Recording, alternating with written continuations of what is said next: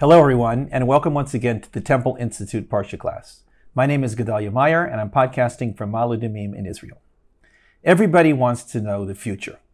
This is probably one of the longest standing desires of human beings. It is hard to imagine even primitive cave dwellers not wanting to know what lay in wait for them in the future. We don't know if any of the higher intelligence animals share this goal, but it seems pretty universal amongst our species. It may even be a defining feature of the human mind. Most of us have no great longing for knowledge of the past, which is partially available for anyone who wants it and only of limited value to those who do. But the future is forever waiting for us, like a carrot on a stick that is attached to the forehead.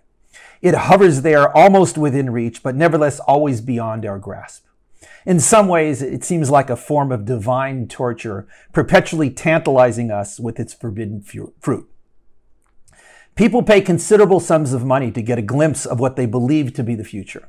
We all imagine how much easier and dependable our lives would be if we just had a more secure handle on what's coming down the pipeline. If only we had some crystal ball that could tell us the important things, the things that we really need to know, we would be that much ahead of the game. Of course, we don't want to know everything. That would spoil much of the fun in life. We don't want to know who is going to win the ball game or what great surprises are in store for us. But getting a few previews of the future whets the appetite like watching a trailer for a movie. It is a bit odd that God made things this way, that the future would forever be unknowable. Why couldn't God simply have made things so that we could know it somehow, if only to satisfy our curiosity? But if that were the case, it really wouldn't be the future at all. It would be like the end of a movie that we've already seen but are in the middle of at the moment. It would simply have to be played out, but is really already there and known. It seems that there has to be this major component of our lives that is never quite real, but is always waiting for us. We have to act on it as if it is real, while fully knowing that it isn't. This week's Parsha is called Ki Teitzei. That two word phrase means when you go. An introduction to a verse about going to war. While this may seem like an odd opening to a Parsha, it is by no means the theme the Parsha revolves around. In fact, there is no such theme for this Parsha. It is simply a long series of commandments in no apparent sequence. They go from marrying captive female prisoners to returning lost objects, to rape and accusations of adultery, to various forbidden marriages, to divorce, to keeping honest weights and measures. There are in total around 74 separate commandments, depending on how one counts them. They wander so aimlessly with no obvious pattern that it almost seems like a large group of people were shouting them out and one guy was writing them down as he heard them. This is the third of three parshas that make up the middle portion of the book of Deuteronomy.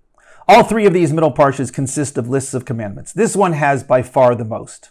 While the others have general themes and patterns, this one seems to just wrap up all those that didn't fit into the first two into a collection of miscellaneous rules. Deep in the middle of it is one about shoo- shooing away the mother bird from a nest before taking the eggs. Right near that are others dealing with forbidden mixtures of crops and textile materials. In between those, we find what find one about putting a guardrail around the roof of one's house. Towards the end, there is one requiring a man to marry his dead and childless brother's widow to carry on the name of the deceased. But near the beginning of this long list, there is one that seems the most bizarre of all.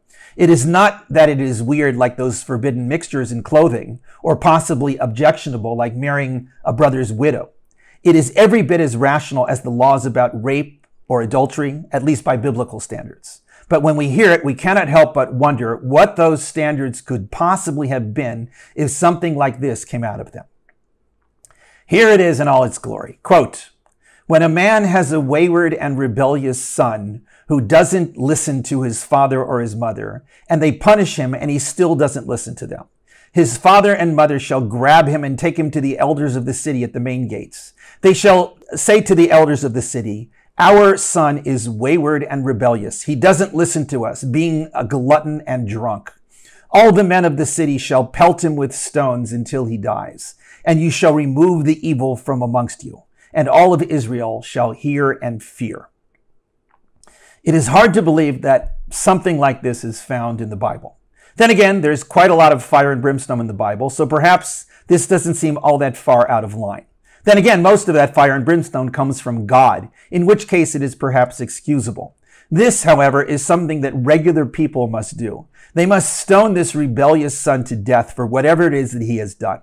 This does sound like something one might hear rumors of in Afghanistan in the worst case scenarios. What is it doing here?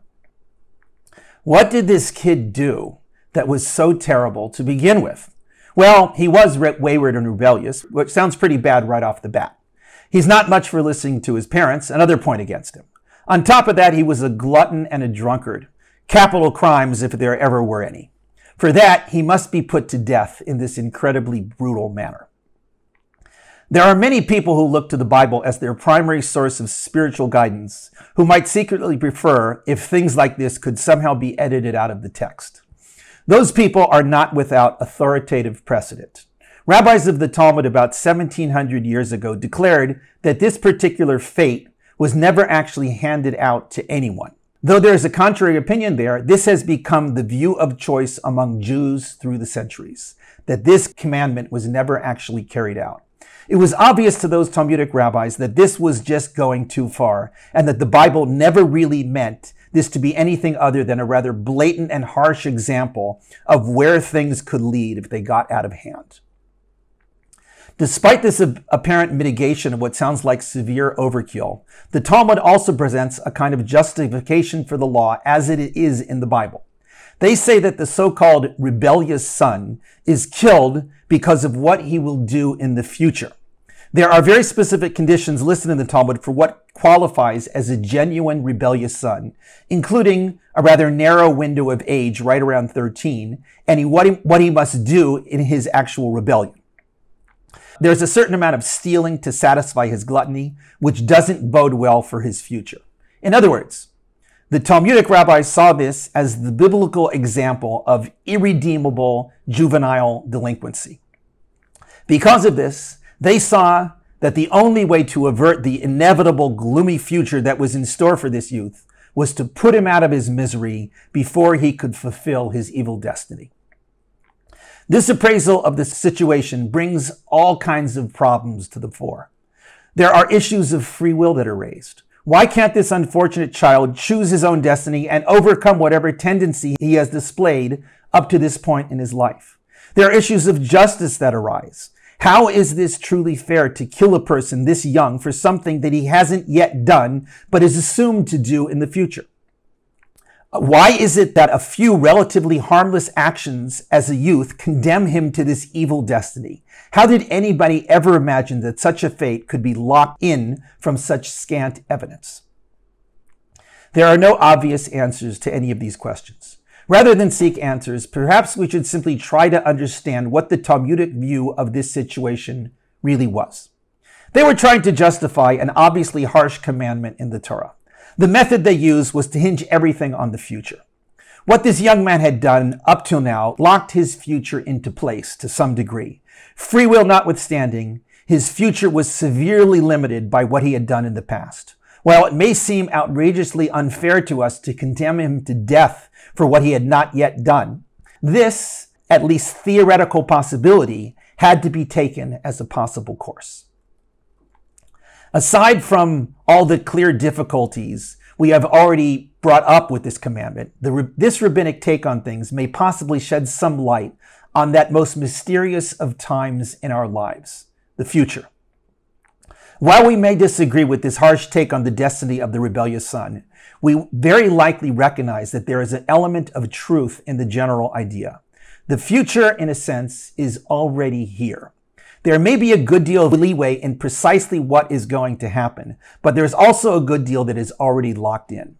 We all know this to one degree or another. While we may intuitively believe that we have the power to change anything we wish, and that the future is always within our ability to determine, we can never be 100% sure that that is indeed the case. We do have a version of a crystal ball. It's that inner sense, optimistic and sometimes not so optimistic, that we just know what's going to happen. Why we have this crystal ball is a bit of a mystery. It may be an intuitive power of the mind. It may be something about reality that gives us a hazy feeling of certainty concerning the future. It may be that the future in some inexplicable way is as real as the present or the past. Well, this may make no sense to the rational way we are used to thinking, perhaps things like this rebellious son situation are suggesting that there may be other way of thinking about things like this. Perhaps the ultimate message out of all this is that we do forge our future to some extent with each step of our lives. Whether we like it or not, to a great degree, we set ourselves on what becomes that inevitable course. The future may not be permanently forged in the present, but it is certainly steered by the present. If all we really get out of the rebellious son is that what we do know now will have an indelible effect on our future, then this commandment has served its purpose. It is a warning of sorts, telling us that we, more than anyone else, set the course for our own future. Shabbat Shalom.